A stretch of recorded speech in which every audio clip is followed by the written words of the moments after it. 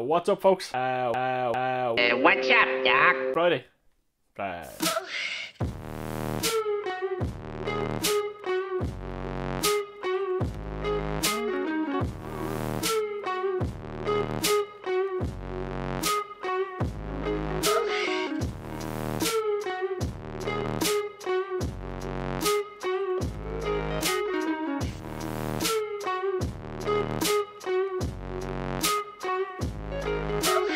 it is mid afternoon.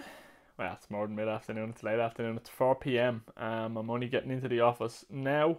I was working last night, so between catching up on sleep and just kind of acclimatizing myself to the day, uh, I've just come into the office now. Under no real pressure, did manage to get the email out this morning, so that was great. Um, I'll keep an eye on that and see what the open rates like are, open rates and click through rates are like. Um, and hopefully no one subscribes. Yeah, today's a mixed bag. I do want to spend um, a little time, if I can, before I go to work this evening, eventually getting around to look at the SumoMe stuff. Um, today's podcast also, or not today's podcast, today's vlog needs to be edited and uploaded as well. So I'm going to jump in and do that first and foremost because that's time sensitive. Uh, and then hopefully I will have um, an hour before I go to work to look at the SumoMe stuff. I don't know after that if I get a whole lot else done. Um, ideally, I'd like to do another pass at next Tuesday's article as well. So we shall see, but I don't really have about four hours um, before I have to go to work, and uh, I can't spend all of that in the office. So I've maybe about two, two and a half hours at a push in the office. So see what I can get done between now and then. But I'm going to go and edit today's podcast. Or I keep saying podcast. I don't need to edit a podcast. I could. I don't need to, but I could. But I don't need to. Uh, I'm going to go edit today's vlog and get that uploaded. Um, it was a pretty short cameo from me if you've already watched it. Again, didn't have to do a whole lot yesterday, couldn't do a whole lot yesterday, uh, and Paul was under a bit of pressure. Uh, he uh, he did manage to get his article out. In fairness to him, and it's a, it is a really good article. Uh, I am very much also looking forward to the video that accompanies that, um, because I think a walkthrough video will be a fantastic addition to that piece of content. Uh, so Paul, looking forward to it.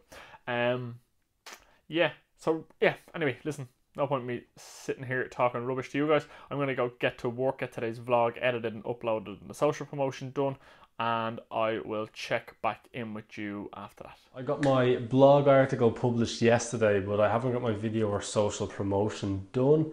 So I'm going to spend a little bit of time doing that. But uh, rather than, I suppose, go on about that too much, I want to speak for a few minutes about the importance of doing keyword research. That's, that's what I was looking at this week. It really became evident when I was looking at a lot of blogs and a lot of bloggers who I suppose are within the groups that we're hanging out in keyword research doesn't seem to get done. It seems to just be ignored. It's a case of, I've got an idea for a piece of content. I think my followers will like it. I'm going to create it's, it. It maybe isn't actually gaining us new followers. It maybe isn't gaining us organic traffic. And it's not because the content isn't good. It's not because it isn't enjoyable. It's simply because there hasn't been a little bit of work done just to find out how you can actually rank uh, and what terms you could rank for in the search engines. An example that I suppose we can talk about is I was doing an article on backlinking last week and fine backlinking it's something which used to be really important and spoken about then the kind of the, the thought come along look well backlinking isn't really that important for blogging anymore and kind of come back again say well actually no it still is because in the simple terms the more people who click a link that points to your website and the more Google sees links from different parts of the internet pointing to your website, the higher they rank it. That's not the only ranking factor, don't get me wrong. But that's not the point. The point is for that article, there's a lot of stuff out there, uh, and as you can imagine, probably hundreds of thousands of articles on it. Really, if you look at the really good focused ones, there's probably maybe 50 to 100 quality backlinking articles out there that you'd say, yeah, that is top notch. So how do I actually win new followers? How do I get that to rank organically? Surely at this point, you know, Google are ranking pages on the internet since 1998. We're nearly 20 years in. All the backlinking articles have probably been written, and you know what? In one way or another, everything probably has been said in, in one, I suppose, some way, shape, or form already. But then again, it maybe necessarily hasn't. The first thing I was thinking about was, well, backlinking. uh, What I want to do is I want to write an article on backlinking. I wanted to number one serve the audience and actually be helpful and help people. And the second thing I wanted to do is to get found and to have people be able to find that article next week, next month, next year. What's the easiest way for that article to get found? For it to rank number one in Google for certain key terms. Now, obviously, if I, you know, going after backlinking, that's going to be way too competitive. We're not a big enough website, big enough brand to actually compete and, and on top spot for that one term. So, well, what did I do? Well, the first thing I did was I, I started brainstorming. So, I started brainstorming terms like backlinking for bloggers, how to do backlinking, is backlinking still important, and so on and so forth. I ended up maybe 20, 30 terms. I just, just went through it. So, following on from that, I, I then had a list. I had a starting point. I've, I've actually brainstormed this and then I went, I was like, okay, brilliant, I have something here.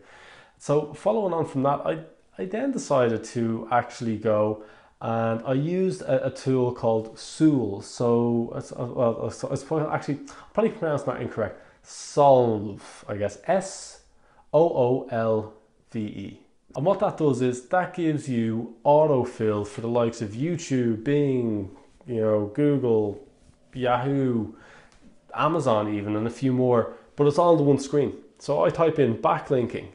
I can see what the autofill kind of says on, on all of these different search engines. I can see backlinking for, or if I say how to, um, I start getting the autofill. So then I was able to pick out a few more ideas, you know. Um, and from that, then I, I added that to my list. So I, I had more. And looking at the list, there's a few terms that I'm kind of thinking, yeah, maybe these, this is what I want to be to be ranking for. So let's say backlinking for bloggers. Uh, I decided I'm going to have a look at that. So I see that the the key search terms which are ranking in the top organic spots. Uh, there's a tool called SpyFu, uh, S-P-Y-F-U.com. I then go to that website and I put in the top, say, six or seven articles for that term that I've searched. And what SpyFu does is there's a free version, there's a premium version. I'm talking about the free version because at the moment bloggers are looking to maybe um, have something which is quick, easy, and, and low cost. Now, when you get more, better, more competitive, you can you can invest in this. But the free version is enough for what we're looking at here. It tells you the type of content uh, that is being produced. But apart from that, we don't focus on all this other stuff. We focus on it tells you what the top keywords are. It tells you what the, the financial value is uh, and how much traffic those search terms are getting. So you can see what those articles are actually optimized for. That gives us a few more ideas. So all of a sudden our list maybe is like we've maybe got 40 terms and there's a little bit of science. And look, I have a science degree. It's it's in my in my nature to be um, very analytical or, or very thoughtful or theoretical. How are you going to get from A to Z? You're not just you're not just going to write a piece of content and it's going to rank number one in Google. You're going to have to create content. It's going to be really good. You're going to have to SEO optimize it. We need a term to SEO optimize for and that's what I was kind of thinking. And that, that's what's needed. So now we've got all of these terms. So we've spent you know, probably 15, 20 minutes. So a significant amount of time, not that much really, when you think about the fact that we're going to publish this article and it's probably going to be getting us traffic for a year, maybe two years, could be even longer, depending on how evergreen it is. So once that that's all happening, we then come along and I use a tool called Moz. Moz again, free version, premium version. This is based on the free version. What Moz basically does is you put your, your terms in, so you can have them in an Excel file. Have to save it as a CSV. You upload it to Moz, and Moz will basically come along, put all those terms through its own algorithm and its own software, and it ranks it, it rates it, it tells you how good, how bad, and how I suppose difficult it's going to be to rank for those search terms. So it tells you how much monthly traffic you can expect. It tells you how competitive it is. Uh, scored from zero to 100, so it's quite easy to very quickly see, well, that's good, that's good.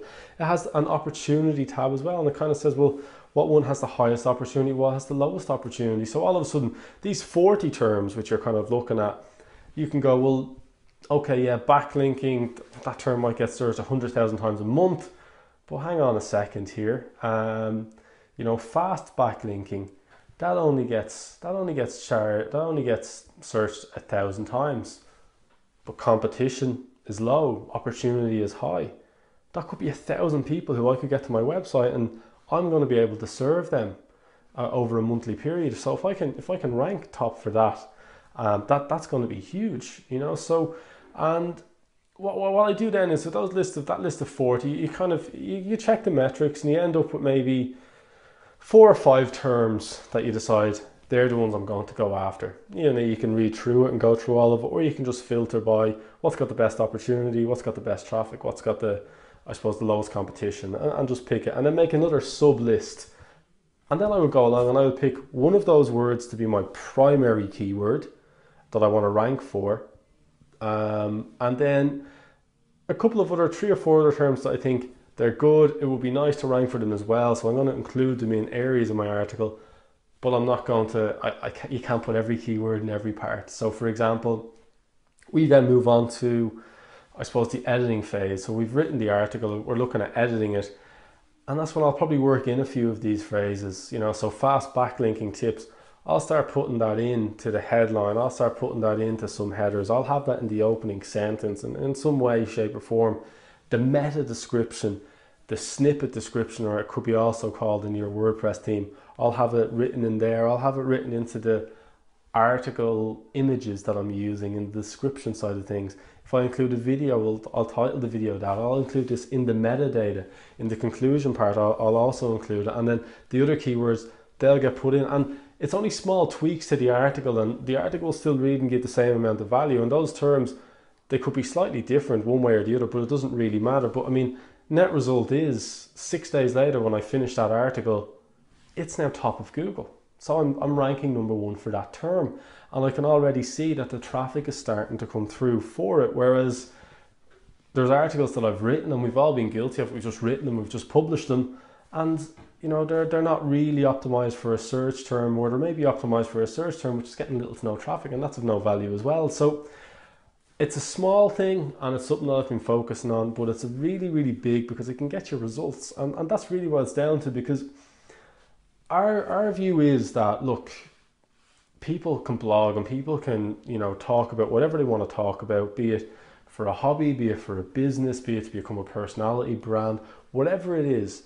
But what's fundamental is you want to get the content in front of the right people and you want to build that following. And this is just one of those small things that we add on that was going to help your blog get bigger, better, get you that larger following, and get you those results. So if you don't optimize your keywords, you're missing out. Now you can go back and do this for historical articles. You've got to be careful changing links and things because that can cause, I suppose, existing backlinks maybe to your site to break. But uh, again, if you've if you if you need any help, if you've got any questions, feel free to reach out. If you're lucky enough to be watching this video, you can see there's not a huge amount of views on it at the moment. We've only just started this vlog. The vlog is just something that we're putting along with the blog just to kind of document things as, as we go on the journey. It's all about the journey. And yeah, feel free to reach out to us, comment below, comment on the website. Best place is to join our Facebook group. And in there, then you can actually have a safe environment where we can go back and forth and we can talk about it. And again, um, you know, our following, it's getting bigger. It's getting bigger and bigger but it's nowhere near what it was for the football website. We haven't got 20,000 people following us. We haven't got the huge email list yet, so we're, we're quite accessible. So reach out. But I just thought it was important. And I know these these vlogs are kind of more to do with you know what we're doing and what's going on and and how the, the site is going and how it's running. But I just thought it was worthwhile chatting about it for a few minutes because you know chances are if you're watching this, you're probably wondering, well, how are the guys get? How's their blog getting better? Uh, and this is really a key thing and something that you can actually use yourself. So I'm going to go, I'm going to continue, I'm going to work on my social promotion for the article I published yesterday. Um, I've had a read of E. Phil's email that he sent out. It was very, very enjoyable. He talks a little bit about his breakdown. Um, so that, that's worth a read. You need to be on our email list. If you're not, you're missing out because those emails are actually quite good and um, very personal as well, which is is probably ref- is refreshing and unusual because you won't get that sort of stuff just sent out on blog posts. And the other thing I'm going to do is work on the video uh, and the video to go along with what I've just been speaking about. So that's me. I'm out of here. I'll chat to you soon. Okay, quick update for you guys. It's now half six, and I have managed to get a good lot of work done on next Tuesday's article. So it's been it's gone through Grammarly, gone through Hemingway. I've created my featured image. Um, I've given it a tidy up. I've gone through the spacing, the headline, the SEO, and my call to actions have all been added in there. Uh, so it's looking pretty close to being done. Um, obviously, you have a couple of more steps I need to do. I need to add in some images to the actual body of the email. I might even add in an animated GIF, try and mix it up a bit. Um, but yeah, very close. I also need to edit the video to go along with that, but it's only Friday. This doesn't go live until Tuesday. Um, so I'm happy enough that I'm on target to have this finished over the weekend. So hopefully by Monday morning this will be ready to go. Uh, and I can forget about it. But that's all I'm going to be at today. Uh, 6.30, going to go get some dinner, sort myself out, and then go to work. So that's it from me. Chat to you tomorrow.